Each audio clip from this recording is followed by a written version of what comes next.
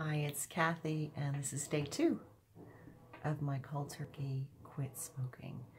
So, how am I doing today? It's been a little rough for me.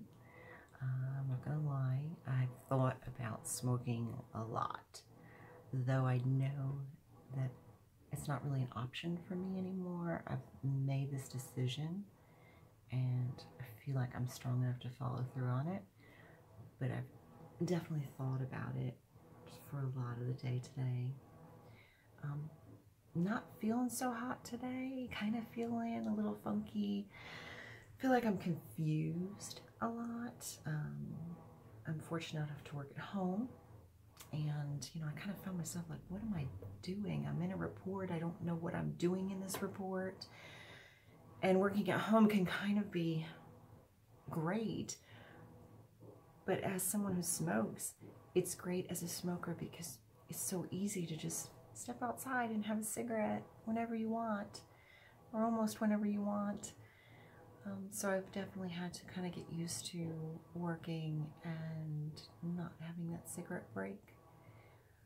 Feeling a little tired and edgy, confused, kind of lightheaded feeling um, I feel like that's uh, probably my fault for not preparing as well as I should have for this quit. I know from Joel's vlogs that while your body is purging this nicotine, your blood sugar can drop. And as smokers, I don't think we probably eat regular meals because we're most of the time consumed with spending our breaks and our free time smoking. So kind of food would come secondary to smoking. And so I have to be more regular with my meals. I also didn't prepare as far as having juice or cranberry juice around and on hand. And I really didn't trust myself today to get in the car and go to the grocery store. And I know that that's something that I'm going to need to do.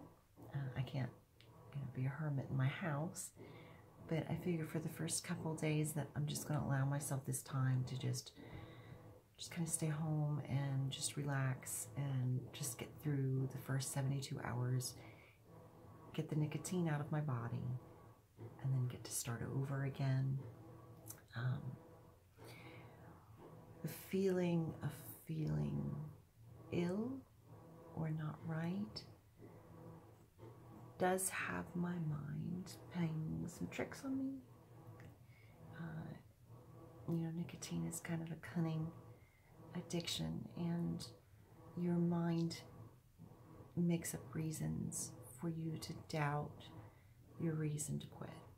So today what I've been struggling with, or I struggled with earlier, I should say, is I feeling really miserable and I thought to myself, I've quit so many times before, and I've gone through this miserable two or three days, only to somewhere down the line start to smoke again.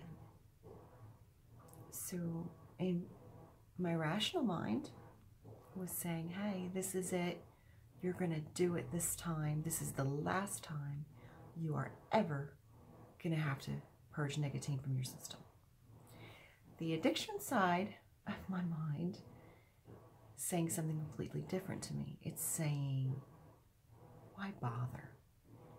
You know what's going to happen.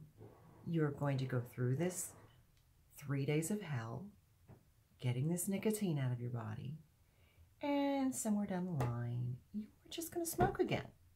So um, I'm trying to really recognize that is an irrational thought because the suffering that I have the chance of suffering by being a smoker and contracting a deadly disease is a lot worse than the three days of uncomfortableness that I'm going to feel while the nicotine gets out of my body. I often go back to a book that I read called Easy Way of Quitting Smoking by Allen Carr. Um, it's a really good book. It, Obviously, it didn't work for me because I've read it like three times and listened to the audio on it at least twice. But it does give you a lot of really good things to kind of think about to yourself. And there's some things that always stick in my mind from that book. And one of them was that there is absolutely no pain associated with quitting smoking. And it's true, it may be uncomfortable, but I'm not in any physical pain. This isn't going to kill me. So I'm trying to keep that in mind. Um, I want to thank everybody for their comments and their suggestions and, um, you know, just positive feedback and positive vibes. And I really feel like this time is going to be successful for me.